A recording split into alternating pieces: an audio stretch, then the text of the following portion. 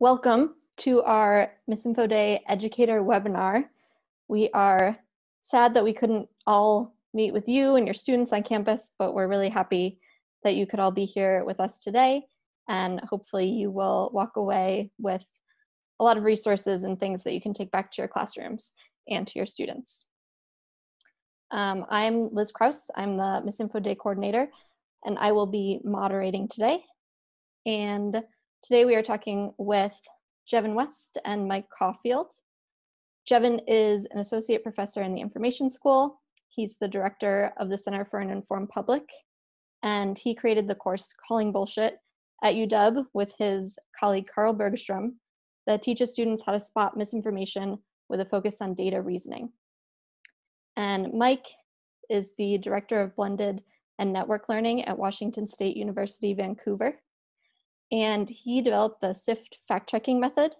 And he's created uh, courses and materials that teach people how to fact check online information using that method. So we are going to start today with a few of the questions that you all submitted. And um, then we'll open it up to more questions and comments.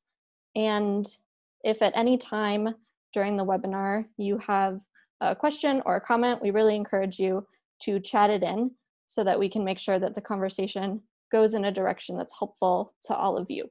So please be vocal in those questions and comments, and we will be keeping an eye on the chat. So we're gonna um, start with a question around resources. M many of you asked what are the resources that I can use to teach my students these um, media literacy and misinformation skills. So we're going to start with this question of uh, what materials and resources would you immediately suggest? And um, Mike, why don't you get us started with that?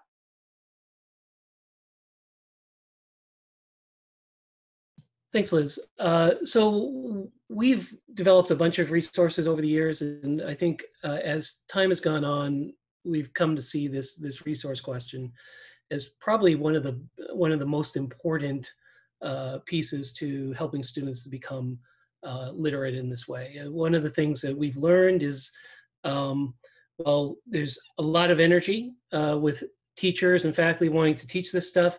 They feel like they need the support of resources that are pulling well-chosen examples that are really pulling out the nuances of some of those examples um, and that they can sort of set up and run and then the teachers can do what they do best they can facilitate that conversation uh, with the student rather than uh, you know try to set up these um, uh, individual uh, examples and walkthroughs and things like that. Uh, the most, uh, actually, I'm going to show you the second most recent thing that we've, now the third most recent thing we've done. Sorry, we've created a lot of resources over the years and I sometimes I do lose a little track. The Check Please materials are a set of materials that we put together beginning of last year. I think uh, they rolled out um, rolled out sometime in in March of last year. This date stamps on all of this. You can fact check me on that. Um, but the check please uh, starter course uses, I think each lesson takes about uh, half an hour to 40 minutes. So it's not something that takes a whole bunch of time. And we treat this as an, in, uh, what we call an induction course. That is, the idea is um, the students can actually walk through this in a self-paced manner and sort of get the basic skills, uh, and then you can work with them in the classroom. Uh, like most of our materials, it is based around the SIFT model. Uh, the SIFT model is a moves-based model. I don't know if you're familiar with the idea of moves in pedagogy, but the idea is uh, you know, moves are a set of things one can do when presented with a problem, right? Uh, it's it's sort of like strategies, but it's a little more concrete than strategies. It's it's very focused on uh, you know action on on different routes that one can take. Uh, and the four moves are uh, stop, investigate the source, find better coverage, trace claims, quotes, and media to the original context. I'm not going to go through all of those uh, today and go through the whole methodology, but we've created this in a way where there are lessons on each of these uh, each of these moves. So for example, if you come to investigate the source, after some introductory material, you get the Alexa enabled toilet prompt, right? Uh, and so this is a prompt where the students are presented with um, uh, text message. They might get in a text chat uh, saying, great, now there's an Alexa microphone in the bathroom too. And something um, uh, saying that uh, now a $8,000 toilet that's Alexa enabled. Uh, and you ask the students, you know, is this, is this true or false? They go and they uh, use their particular, um, whatever their, their methodology is. Hopefully they borrow from the stuff we've shown. Um, and in this case, uh, when they go to the discussion, they'll find that this is actually true. There is an $8,000 Alexa, uh, you know, enabled uh, toilet.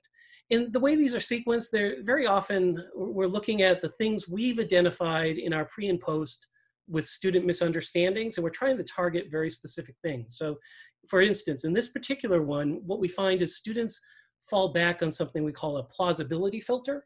That is, they think they're critically thinking about something, uh, but what they're really doing is just saying, does this accord with my experience? Does this sound like something that I've heard of before, right? And so it has the feeling of critical thinking, but it's not. We're encouraging them to go out there, in this case, uh, check the source. There's a more recent set of materials. Uh, we just put this together. This just came out a few weeks ago. Uh, it's in French and English. It's uh, from a partnership with a Canadian organization called CIVIX, called Find the Facts. And this is a set of materials uh, that is all, uh, this particular set is all um, organized around uh, COVID-19 uh, misinformation and disinformation. Uh, and uh, it's pretty cool. we work with Jane Lytvynenko, who is one of the experts in tracking down fake news for BuzzFeed News, which is separate from BuzzFeed BuzzFeed News. Um, she does a lot of the introductory pieces, uh, and then I walk through the um, some of the methods. Now, one of the interesting pieces about it is uh, they're really uh, quite good at doing uh, doing graphical explainers. So uh, I guess I'll I have this a little small here.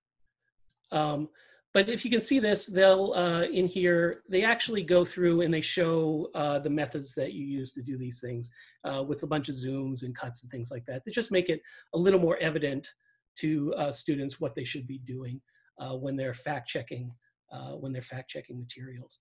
Um, there's a number of other materials out there. I, I think that some of the stuff that the News Literacy Project is putting together, especially more recently, is, is quite good. Um, uh, Peter Adams has a newsletter called The Sift, which is not related to our methodology, but is also uh, is also quite good. Um, but I'm happy if people have specific resources questions. I'm happy to answer those later as well. I'll, I'll hand it over to uh, Jevin to talk about some of the things that uh, that he has going. For a long time in science, data visualization has been the standard way of communicating complex ideas and complex um, information.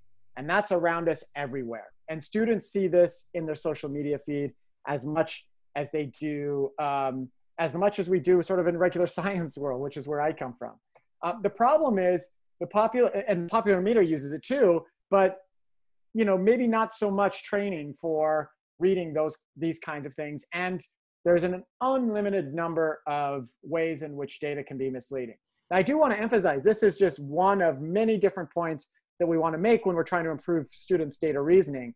But charts engage students in ways that are different. So that's why I want to focus on today and give you some examples. So there has been this rise of charts, especially you know in newspapers, but also in social media. Um, actually, we could even talk about some of the issues with this particular chart of charts. Um, but it's it's fun nonetheless. I, well, it, it's true nonetheless that that charts are being used to communicate information. Today, we even use we use data graphics for everything, even things we don't need. So MSNBC tweeted this out not too long ago. This was last year, I think, that Trump tweets mentioning Mueller's by name. And if you look, zero zero one two three, it's not a not a real useful sort of graphic to be used. But the charts and ways of communicating have gotten much more sophisticated, and with that, uh, many ways in which um, charts can be misread and uh, misinterpreted. So if you look at this, uh, you know, this is this is a paper that talks about um, how uh, how much we need to improve, I think, in, in education, in teaching students how to interpret graphs. So there was this, this, this particular study um, showed, and actually several studies since then have showed that students really struggle with interpreting even simple graphs like this. So about two thirds of American adults that were assessed with this particular chart had a very difficult time interpreting it. These are the exact questions. These are the, this is the chart that was used. It's just a, sta a standard scatter, uh, or scatter plot um, with a linear regression through um, the, uh, the data with average sugar consumption on the x-axis and average number of, teeth, of decayed teeth per person in different counties. And so you're, we're at, you ask individuals, uh, you know, what, what would be their answer to this particular question? You do this and, and it turns out most get it wrong, but it's actually 63% is not even a good number for this particular study because if you, if you even just guessed by random, you'd get it right 25% of the time. So it's actually even worse than that number entails. Turns out the answer to this one is that more people, sugar people eat, the more likely they're to get cavities. Pretty simple, but people struggle with it. So we talk a lot about, you know, uh, framing both um, lying and BSing um, in the literature, and we find different ways, even in graphical literature, in which that happens. So liars, they, according to you know Harry, Harry Frankfurt, they know the truth, and they're sort of just misleading and trying to to push you in the the dire, uh, direction away from truth. Whereas BSers, uh, they don't really care, and they're just trying to persuade. So there's different kinds of graphs for that. So we have several different forms that you might students might see, and they have a lot of fun with these. One is something that we uh, we call a duck, which is building off of Edward Tufte's idea that it's a graphic that's taken over by decorative forms rather than the the um, the sort of main function should be, which would be distributing um, the story of the the data itself. So one of the examples that's used in Tufte's book and others are these uh, from architecture, these decorative constructions that really um, are don't they sort of it's form over function in, in other words. Um, and we have tons of these examples. I found some great architecture um, that sort of fit this this mode. Um, but you know, many of you have seen these in UST, USA Today. Of course, these USA Today made these famous, where you get these graphics like, how many glasses of water do you drink a day? Well, okay, let me just try to sit here and look at this just for like, uh, you know, a, a, minute before I before I even even even start doing assessments or what this ma- uh, what it's supposed to say. And we have literally hundreds of these in our files, and students love going through this. And by doing this, they start to see that if communicating data and some sort of data story is the point, then you can get lost here. Now, this isn't necessarily misleading at all. This is just capturing our attention. Now, this one, I mean, this one has so many things wrong with it on messaging and not just the data visualization. I'll just sort of let this one sit, sit to the side. But um, as again, it's really difficult. How can you, you know, is it the nails that are included here? The, the finger length, are they, do they correspond to those actual numbers? We do a lot of measurement of these things by pixel. It's off by these kinds. I mean, there's just so many things. I, I don't even need to go on. Now, circles, of course, are used all the time um, just because they're a nice way to fit certain kinds of figures. But what's the difference between, let's say, Turkey and Ukraine? Turns out that, you know, people that study um, uh, visual perception know that it's really, really difficult to tell the difference between different, uh, you know, different circles, circumferences and, and even harder for areas. So, I mean, these are these. This is the kind of way that we students see information. Now, these again are not so bad. So we're kind of just having fun, but it's a way to pull the students in to thinking about this. Now, there's another type that we see a lot of glass slippers. We do actually do a bunch of work on talking about the mathiness of data viz because we actually make fun of all the mathiness we see um, in in the world nowadays that has a bunch of math equations but nothing around it. I'm going to, because I want to try to do this in five minutes, so I'm going to skip real quick, but they come in many different forms, in forms that are actually quite useful.